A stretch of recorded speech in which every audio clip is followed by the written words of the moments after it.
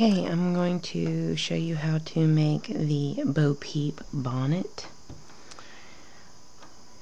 Um, what you'll need to do is you'll need to do a E-wrap cast on and you'll need to do a knit back and that's how you get started okay okay after you do your initial E-wrap cast on and knit your way back what you're going to do is you're going to always slip this first stitch. Always. Pull this down some you're always going to slip this first stitch. Okay. And knit your way over. And the reason being is you want this nice beautiful easy to see chain. Because you're going to need that when you go to do your weave-in cast on. Alright so you're going to knit all the way over until just before the last peg and this is a series of short rows. You're going to knit all the way over. There's your last peg. Okay you're going to wrap and turn and start knitting your way back.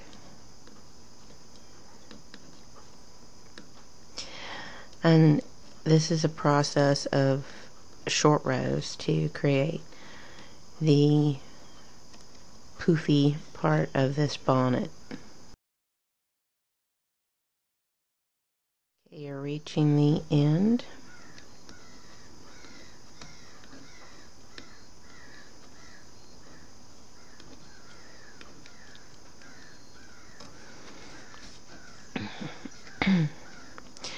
You're going to slip the first stitch and knit to just before the last wrap and turn. You're going to wrap and turn.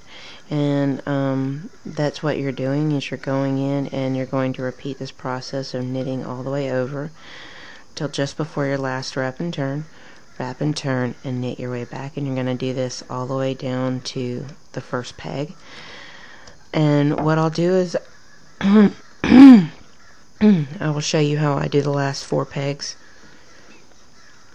of wraps and turns in the series because it may get a little funky there at the end as to what to do while you're slipping that first peg. Okay, so we're here just before that last wrap and turn. So you're going to wrap and turn and knit your way back. And you're going to keep repeating this process until you're down to the very beginning of your peg 1 over here.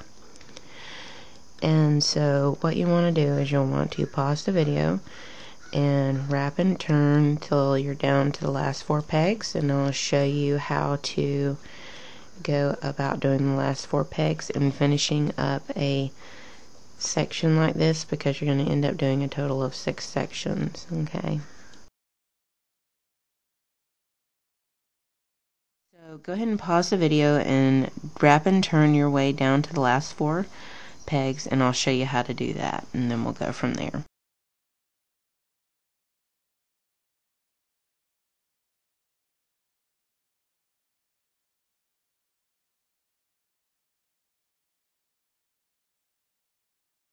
And then knit two together. Alright. And then what you want to do is slip that first one and knit your way over You're going to do this sectioning a total of six times. And it's easy to count the sections if you forget which one you're on. Okay, so that finishes a section. Okay, and as you can see, I have finished two sections, and you can see that easily enough. There's your line, one, two. Okay. So you're going to do this um, total of six times and then you'll just bind off and then I'll show you how to add your um, your brim area with the um, ruffle yarn to make it a bonnet for Bo Peep. Just go ahead and pause the video and get the bulk of your hat done, which is this, and then we will go from there. we've done our six sections. One, two, three, four, five, six. Okay. And what we're going to do is um, we're going to knit our way back one more time and then we're going to bind off on our way back over okay so we're going to knit our two together all the way across and then we're going to do a regular bind off and then I'll show you how to sew it up okay now that we've done that we're going to do our bind off and I'm going to slip that first one, knit the second one to get started. Take it back one, toss the bottom loop over, move it over one. Don't do this bind off tight, okay? You want to do it fairly loose. Knit the next one, take it back one, toss the bottom loop over, move it over one. And you want to do this all the way across. Just go ahead and pause the video and bind off and then I will show you how to sew up this and then prep to do the brim of the hat and you'll need to have your white yarn and your ruffle yarn ready to go. Let's go ahead and pause the video, get your bind off done, and then we'll go from there. Okay, you see your full six sections, okay? And what you want to do is you want to be able to sew from here up, from here up, okay? Because what we want to do is we want to gather those slip stitches that you did. You want to gather those so that you don't have a hole at the top of your hat. Now, um, I'm going to tie off my ends so I know where they're at. And I'm going to do this on the negative side. And, um, will tie me a little slip knot to send through. Okay. So what you want to do is you want to, it's, you see there's a chain here. And then over here, you see these lines. So what you want to do is you want to find out where that first chain is, which looks like it's right there. You want to make sure you find your first chain, and you also want to make sure you find your first. There we go. And then what I do is send it through that slip and tighten it. Okay. Now what you're going to do is you're going to go to the next chain and then you're going to go to the next. You'll see these little lines. You want to send it through a line because what that is is that's a stitch. Okay. And then you take the next chain and you want to send it through there and there's your next line right there. And you're going to send it through there and you're going to do that all the way down to here so go ahead and pause the video and get yourself that far. And when you do, I will show you the gather section so that you don't have a hole at the top of your hat. And then I will show you how to do the weave in section so that um, you have the weave in cast on. And so you can get started with the uh, the brim. So go ahead and pause the video. Sew up to here and then we will show you I'll show you how to go in and gather that up. Okay we're at the actual middle of the hat and you'll see these little slip areas here. What you're going to do is you're going to send the needle through that one send the needle through the next one and then send the needle through the next one send the needle through the next one and send the needle through the last one and draw string together. There. And now that is officially closed off, as you can see here. And yes, you'll see a seam. There's a technique I use which I call the faux um, Kitchener bind off, and I've done that before. And uh, it hides it more, but it's just going to be kind of slouchy. So it's not really going to much matter. But go ahead and finish off your seam.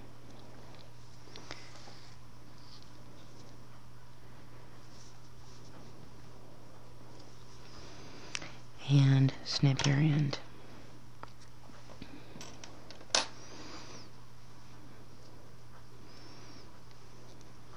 Okay. Now, here's where it gets interesting. Okay, so here is your main part of your hat. Alright. And if you've done this, you've probably seen the pinwheel technique, and that's kind of what this is, except we're going to go in and it's going to be a poofy back. Okay. And um, you'll see these chains here. And these chains are going to be really useful. Alright. And what you'll need is you'll need a thin crochet hook and you'll need white yarn. Okay. And what you're going to end up doing is you're going to end up weaving back in. You're going to send the crochet hook through these chains. So let me go get my crochet hook and we'll get started. I'm going to have to go over this a little differently than when I filmed it and I realized I did a miscalculation. Every single peg needs to have three stitches put on it. So if the next little bit of the footage seems a little choppy, it's because I'm showing you how to add three stitches to it. But every single one should have three stitches to it. As you can see, there's three. So, um, I'm just giving you forewarning on the next little bit that um, I initially said two and three. It needs to be three all the way around. Really simplifies it. I don't know how I miscalculated, but I did.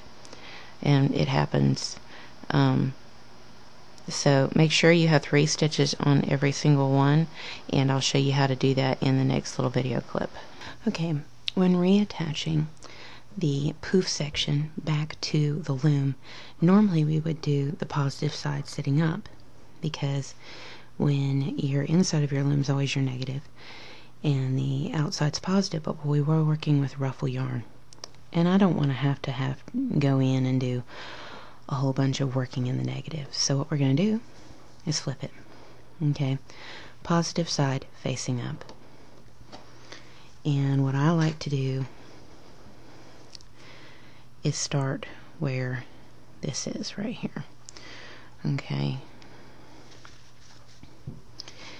And I'm going to wrap that around. Okay, so now what I'm going to do is I'm going to find my first chain. Okay. I'm going to find my first chain. I'm going to wrap, pull through. Alright, so my first one will have three, three. And then what you're going to do is you're going to send it through the chain, pull through, put on the loom.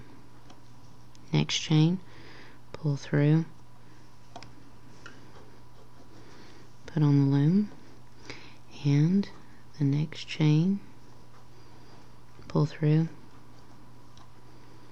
put on the loom.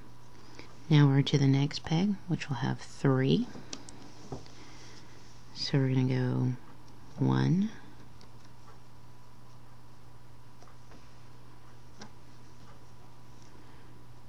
two,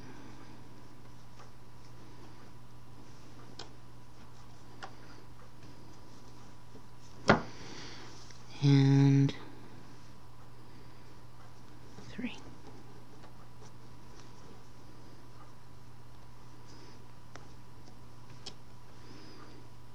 Okay. So you're going to do this all the way around, adding in your chains, and then your poof section should be attached to the loom. And from that point, we will be picking up our ruffle yarn and we'll be doing a row of that. And then we'll be doing interlace uh, lace stitch that I normally do. And then we'll add in another ruffle row and then we'll do um, like five um, rows of a seed stitch. Okay, so pause the video, get your weaving cast on on, and then we'll go from there. As you can see, here is your poof section of the hat. And you see that the right side's facing up. There's your negative side. And we've got three stitches on every single um, on every single peg And now we want to get it down to one stitch, which is easy.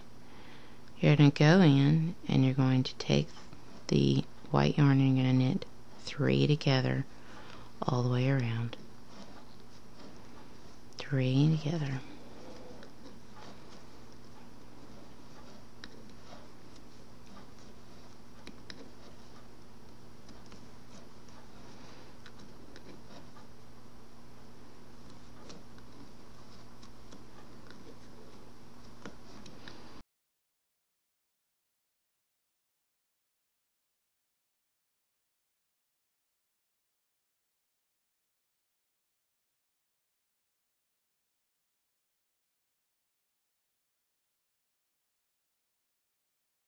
Okay, we've gotten all our stitches back down to one and it's time for us to add our ruffle yarn. And I'm going to just put that in the little puff area. And what I want to do is I want to find my first stable area, which is going to be that one's, because that one's not going to be real stable. You could have it fall apart on you. So we're going to do that one. And we're going to put it on there. We're going to toss that bottom loop over. You're going to skip that one, move to the next one, put that on, toss the bottom loop over. Skip, grab the next one, put it on the peg, toss the bottom loop over. You're going to do that all the way around to this peg, and then we will go from there. So pause the video and get that much done, and then we'll go from there. Okay, we've added our first row. Now what we want to do is we want to knit two rows so you want to go around and knit around for two rows. Two rows. And then we will do a lace row and then go in and do another two rows. So go ahead and pause the video and complete the two rows and we'll be back. Okay, so we're going to do a lace section. So we're going to decrease to the right, yarn over, knit two together. Decrease. Yarn over. Knit two together. And you're going to do this all the way around. So go ahead and pause the video and do your decrease and yarn over all the way around. And then I will show you the next row. Okay we're to the next row and what we want to do is we want to purl the yarn overs. And we want to knit. So we want to purl and knit all the way around. Purl, knit, purl, knit. And you want to do that all the way around pause the video, get that done, and then I'll show you the next two rows. Okay, now that we've done that, we're going to do, pull that through, we're going to do two rows of knit. So you're just going to knit,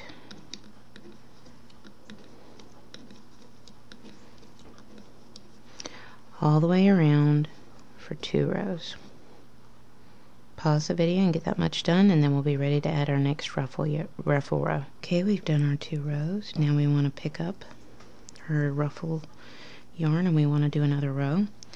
And because it's such a small area, we're only going to do count three up. So one, two, three. Place the third one on the peg. Toss the bottom loop over. Skip, add, and do just like we did with the first ruffle row. Skip and add, skip and add, and just toss the bottom loop over. So go ahead and do your ruffle row and then we'll be doing five rows of a seed stitch. Okay, we've added our last ruffle row and now what we want to do is we want to knit one purl one all the way around. Knit one. Purl one all the way around. Let's go ahead and pause the video and do this row and then I'll show you the alternate row and then you just do that as my repeat and we're almost done. Okay, the next row of this patterning for the seed stitch is to purl one, knit one, purl one, knit one, purl one, knit one, all the way around, and then you're going to repeat these last two rows one more time, and then you're going to bind off.